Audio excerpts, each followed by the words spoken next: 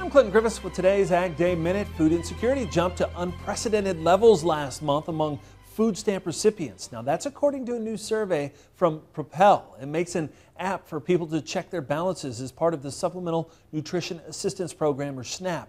Now, it says about 44% of those asked skipped meals last month. That's a 7% increase and a record high.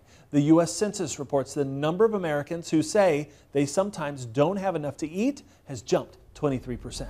Researchers at the University of California, Davis report lab grown or cultivated meat's environmental impact is likely to be significantly higher than retail beef. The researchers conducted a life cycle assessment of the energy needed and greenhouse gases emitted in all stages of production and compared those with beef. It says based on current and near term production methods, they concluded lab grown meat will be worse for the environment and more expensive than conventional beef production.